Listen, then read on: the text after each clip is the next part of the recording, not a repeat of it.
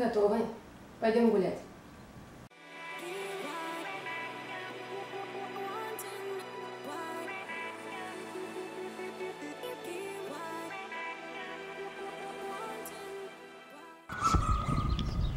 Всем привет! Я вас приветствую на своем канале. Спасибо, что заглянули. Надеюсь, что меня хорошо слышно, потому что у нас сегодня такая странная погода, немного ветерок дует, и вполне возможно, что мой голос сдувается. Я сегодня вышла погулять, решила вас взять с собой. Здесь недалеко от дома, в общем, я прошла километр, дошла до пантеона Белоразин, еще называется Маузолео. И здесь должна быть такая выставка Турино агрикультуры Инчита. Работает типа она с 10 до полпервого. Я сюда уже пыталась попасть, но всегда попадала э, в э, обеденный перерыв. И сейчас пришла вовремя, но все закрыто. И сейчас я иду в наш лесок. Он, в общем-то, называется Бускетто. Это как парк. Здесь э, обычно люди бегают очень много в любое время дня.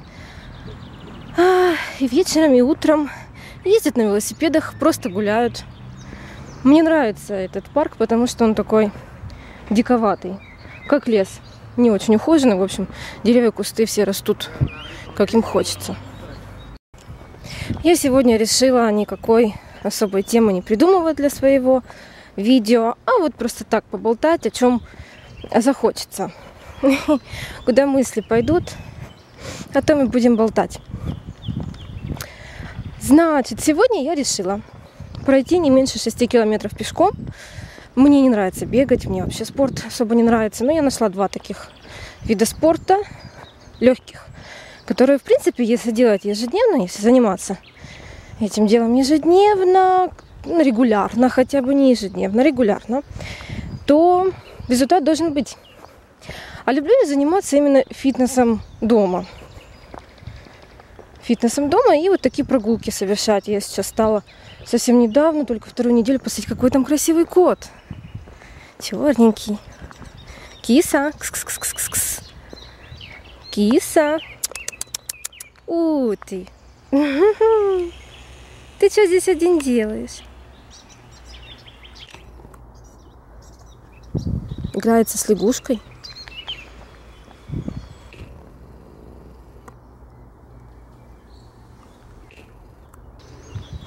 Уединиться здесь нельзя ни в какое вообще время, ни в каком лесу. Всегда кто-то ходит, всегда кто-то бегает. И я постоянно стесняюсь снимать потому что, мне кажется, на меня как-то неправильно смотрят. Ну, так как я еще считаюсь начинающим блогером, то, может быть, в будущем я буду снимать без всякого зазрения совести.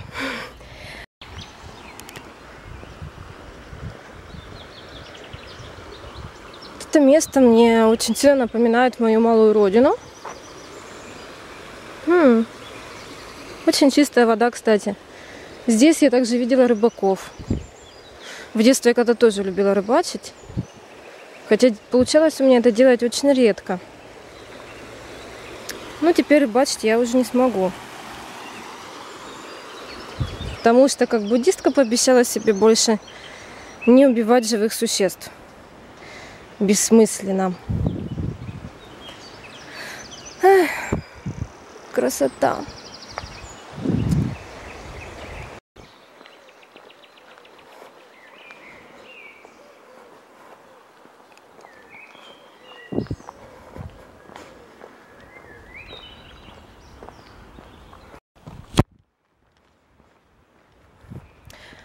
Итальянцы очень любят бегать. Если честно, я их не понимаю, но точно уверена, что бег очень полезен. Практически всем. И мне бег полезен.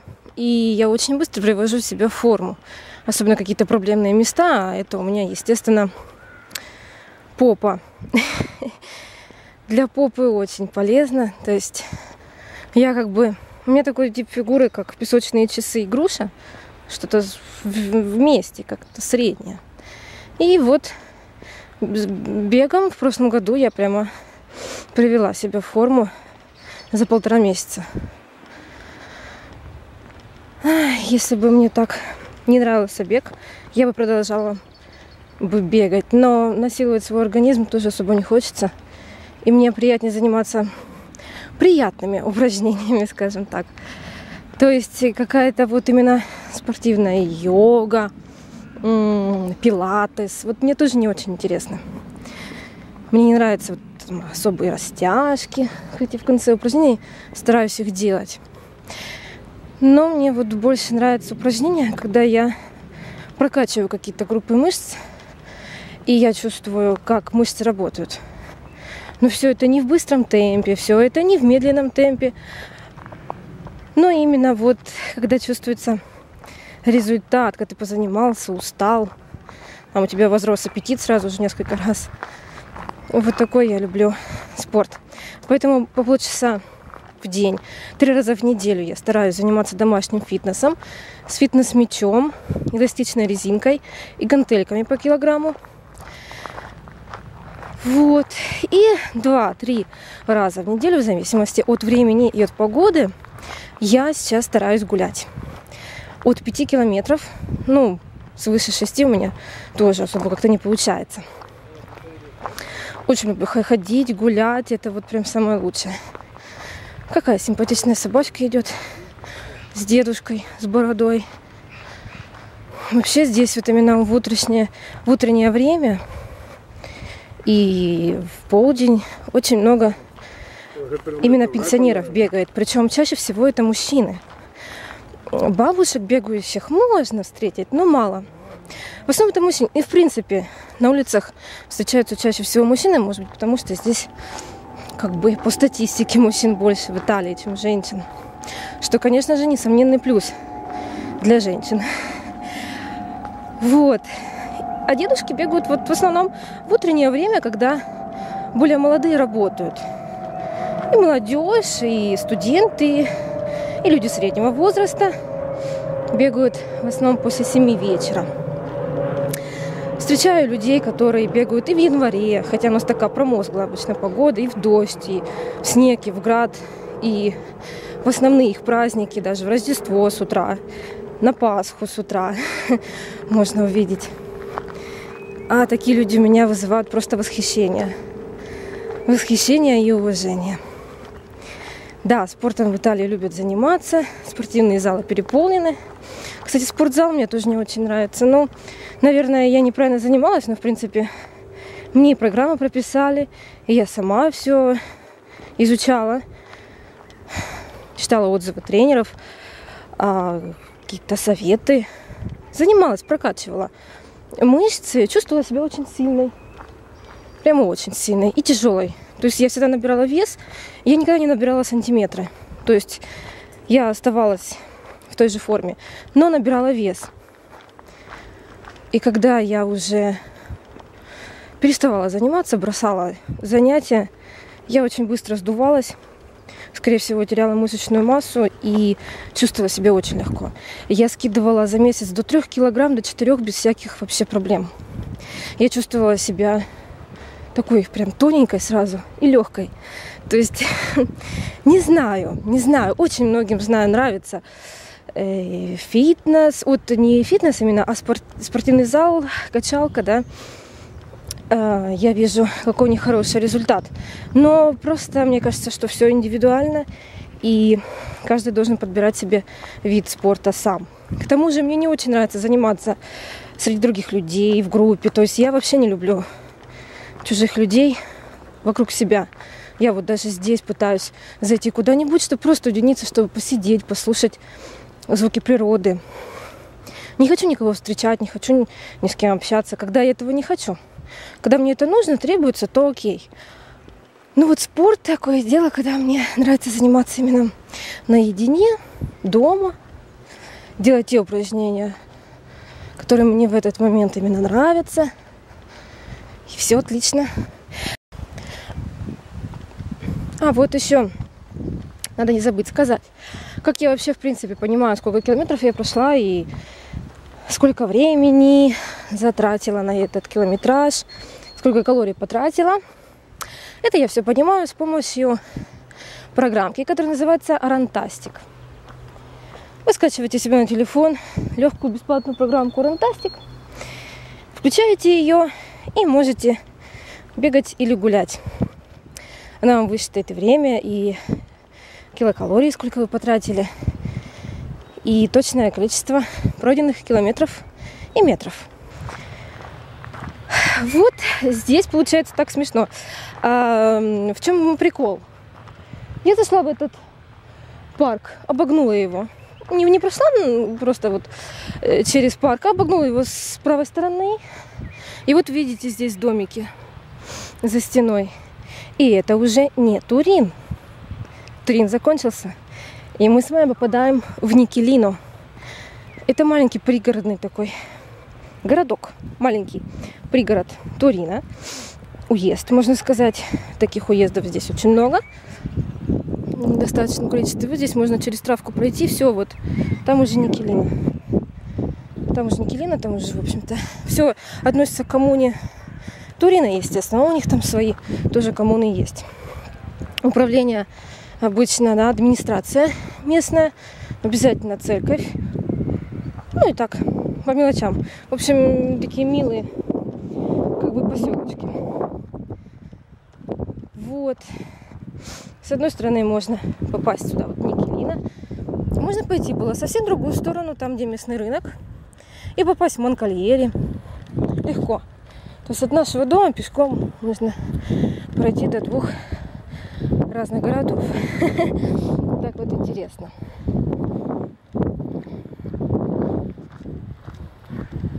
Вот эта дорога, по ней можно было пройти. И вот он, начинается Никелино. Вот она моя программка Рантастик. Посмотрите уже, сколько я прошла. Угу. Красота. И наконец-то я забрела вот в такие дебри. Вот она тропинка. И не знаю, куда она меня выведет. Выведет она меня в начало парка, или в конец, или в середину. Или я так буду вокруг плутать. Но здесь клево. Я себя чувствую просто в лесу. Классно. Становится у нас все теплее и теплее. Сегодня опять будет где-то, я так думаю, ну не меньше 22 градусов тепла. Это точно. Это точно. Может быть, даже 24. Сегодня я забрела вот э, в этот лесок. А в следующий раз, если хотите, я вас возьму с собой на прогулку в парк, который находится напротив. И тот парк в основном предназначен для бега. Там удобно бегать, там ровные дорожки, там подстриженная травка. Ну, как-то так. Более ухожен. Более ухожен, чем вот этот лесок. Но, в принципе, мне и здесь нравилось бегать. Вот когда я бегала, я здесь себя чувствовала хорошо. В следующий раз возьму вас туда. И там тоже есть одна тропинка. Нужно знать, куда свернуть. Там есть прикольная речушка. Там плавают уточки, растут камыши. И есть маленькие милые мостики. В следующий раз туда вас возьму. А, круто! Здесь в прошлом году мы рисовали бодипейтинг. мой второй в жизни бодипейтинг. Я тогда еще обучалась, была ассистентом у бодипейтинг мастера, у визажиста. Вот это место. Мы прошли недалеко от моста, и я прям вспомнила. Я ребят, с которыми этот бодипейтинг делала, привела в этот парк, ну, предложила, как бы нам по теме нужна была вот такая живая природа, тут какие-то цветочки были, бабочки летали. Мы делали именно бодипейтинг Евы. И если хотите, заходите. Вот по этой ссылке откроется в новом окне. Посмотрите, как это было год назад. Это было год назад, то есть где-то в начале июня, в конце мая. До прихода, по-моему, африканской жары, если я не ошибаюсь.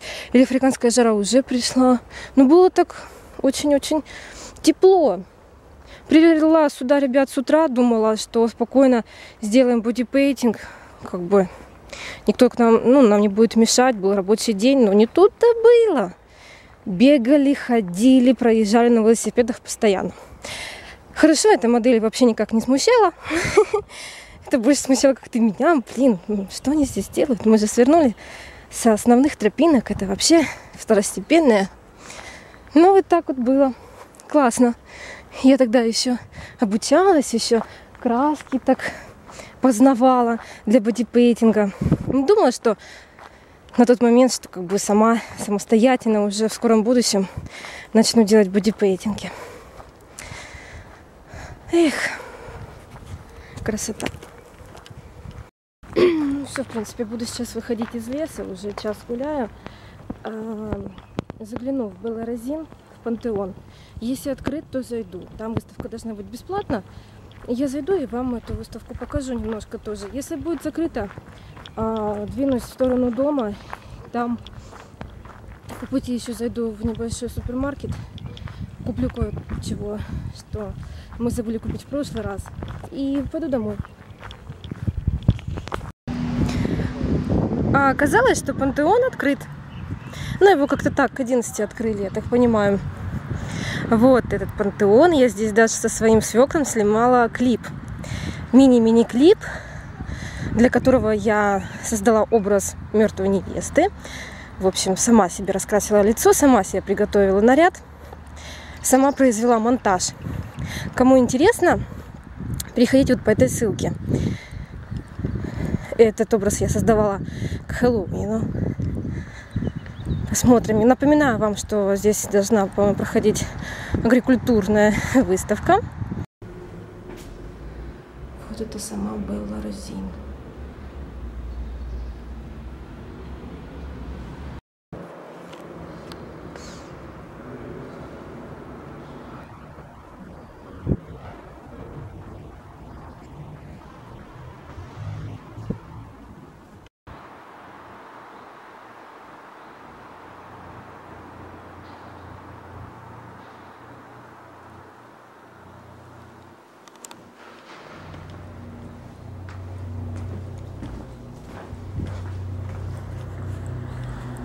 Вообще, ребят, я ошиблась, никакая это не выставка. И если это выставка, то каких-то просто фотографий, описаний разных исторических моментов. В общем, вся агрикультурная жизнь Турина на протяжении нескольких столетий. Что где выращивали, когда начали, когда что-то открыли, там где капустка, где картошка. Ну, читать это нужно. Я-то думала как-то представить что-то такое агрикультурное. Ой, вертолет летит.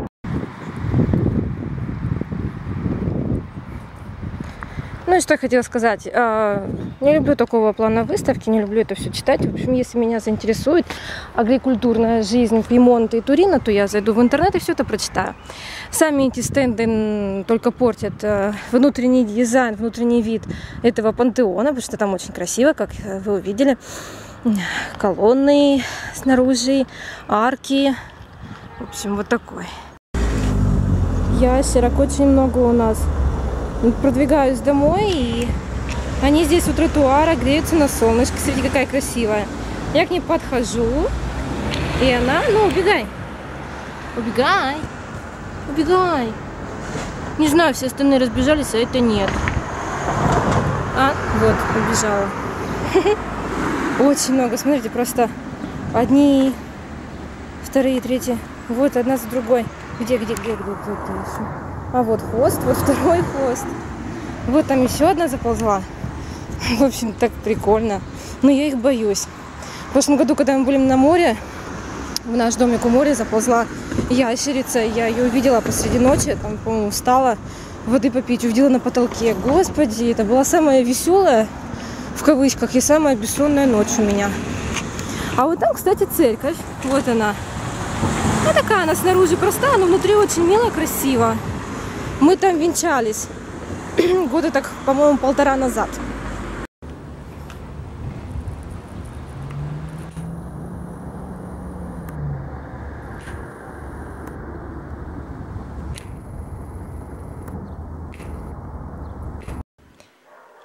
По итогу, сегодня я просто молодец, прошла практически 8 километров, потратила 815 килокалорий. На это затратила ну, практически 2 часа. Классно, довольна результатом.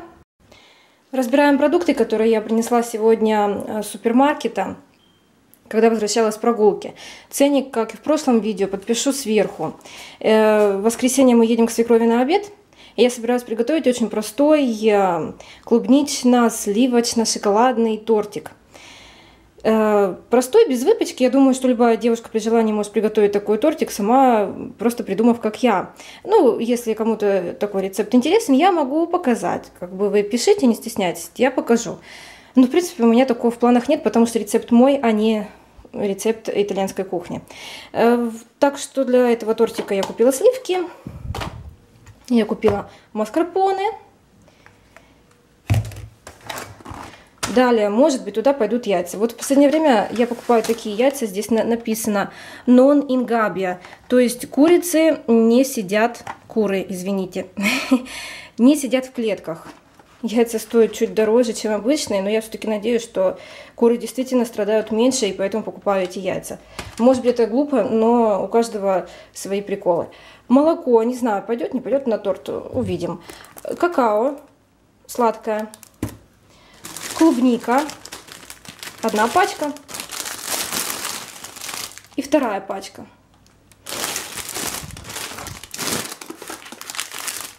И желатин. Также я заметила, что у меня закончилась помидорная полпа. Как же без нее? Сегодня ведь буду готовить пасту, естественно. Э, и шпинат. Шпинат я просто обожаю. Очень жалко, что он так упаривается, уваривается и утушивается. Огромный пакет на полкилограмма превращается просто в маленькую горстку тушеного шпината. Шпинат обожаю, в общем, классно. И еще купила э, вот такие вот э, шампиньоны, уже нарезанные для будущих омлетов. Все эти покупки у меня вышли всего лишь на 20 евро 17 центов. Я вас благодарю за то, что сегодняшнее утро вы провели со мной. До скорых видео, отличного вам дня и пока-пока.